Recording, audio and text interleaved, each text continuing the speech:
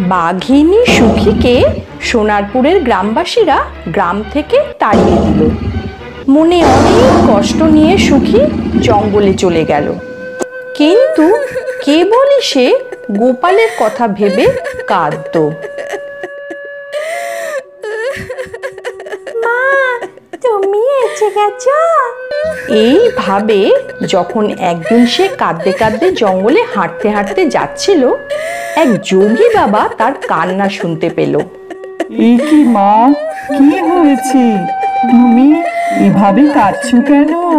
এই জঙ্গলেই বা তুমি কি করছ? আমি যে অভাগী বাবা আমার দুরবস্থার কথা ভেবে কান্না ছাড়া আমার আর যে কিছু করার নেই বাবা। শান্ত হও মা তুমি শান্ত হও। শান্ত হয়ে আমাকে তোমার কষ্টের কারণ বলো।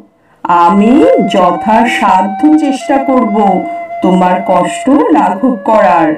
তখন সুখী সমস্ত ঘটনাটা যোগী বাবাকে বলল।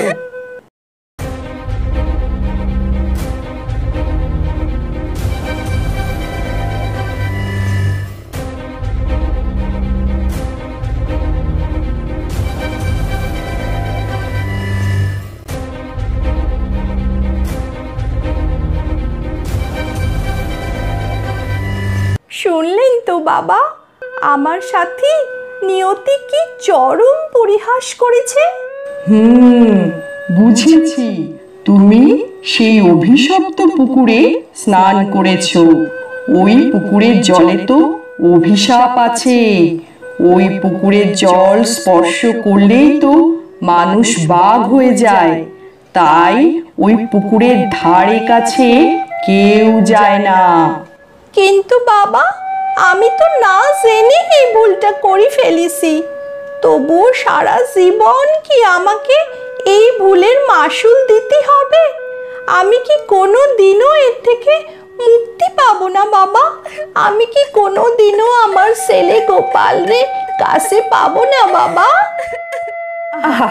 তা কেন মা?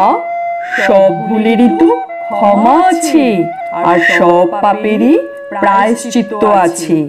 তোমারও এই যন্ত্রণা থেকে মুক্তির উপায় আছে মা। কিন্তু তুমি কি সেসব করতে পারবে মা?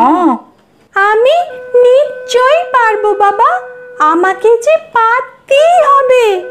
আপনি এক্ষুনি বলুন বাবা কি সেই উপায়? তবে শোনো মা তুমি বাঘ হলেও আজ থেকে তোমাকে বাঘের সমস্ত স্বভাব ত্যাগ করতে হবে।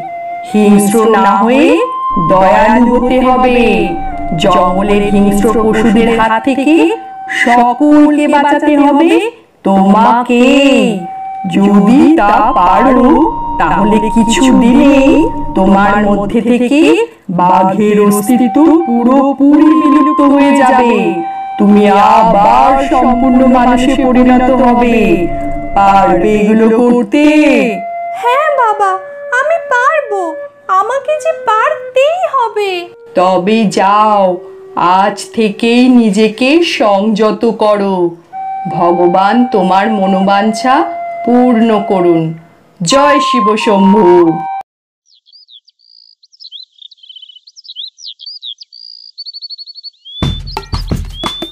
আরে কাট কাটি ভাই কাট কাটি ঠক ঠকা ঠক ঠক। করিম সাসা নামটি আমার বক বকা বক বক করি বক বকা বক বক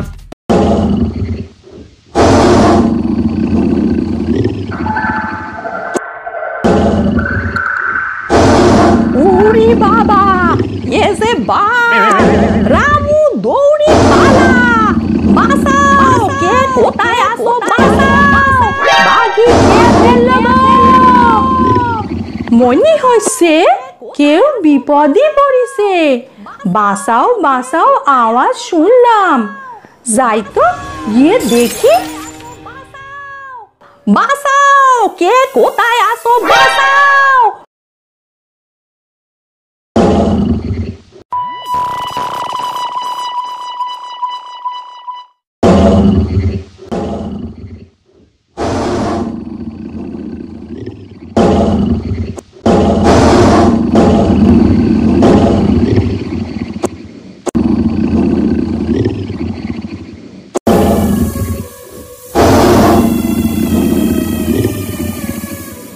আরে, ব্যাপারটা কি হলো?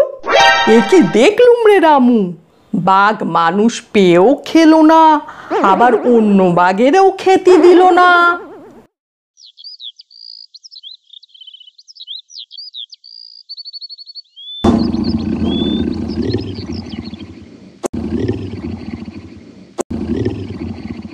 ওম নমঃ শিবায়। नमः शिवा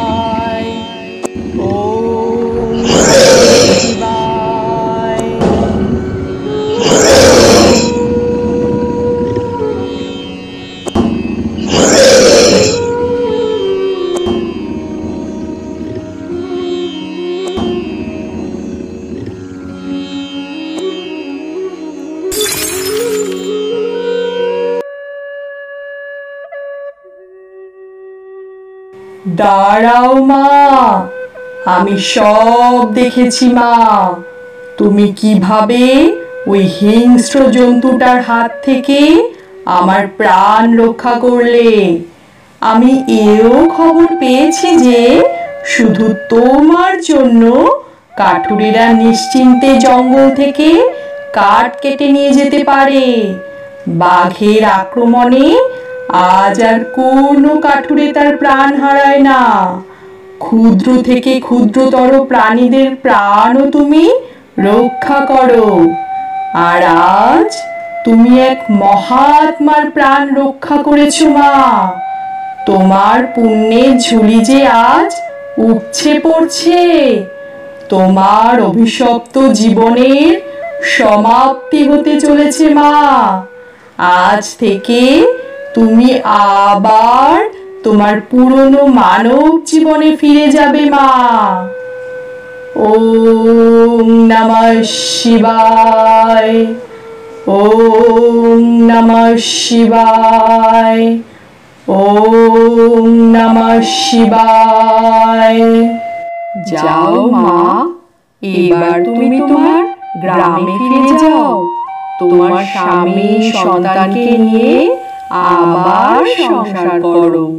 কিন্তু বাবা ওই গ্রামবাসীরা যদি আমার কথা বিশ্বাস না করে যদি আমারে আবার তাড়িয়ে দেয়? ও মা তা কি করে হয়?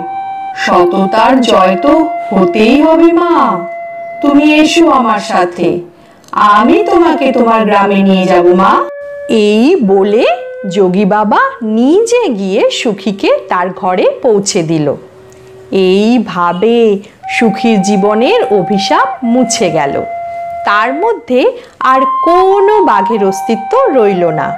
সুখী তার মানব জীবন পুনরায় ফিরে পেল।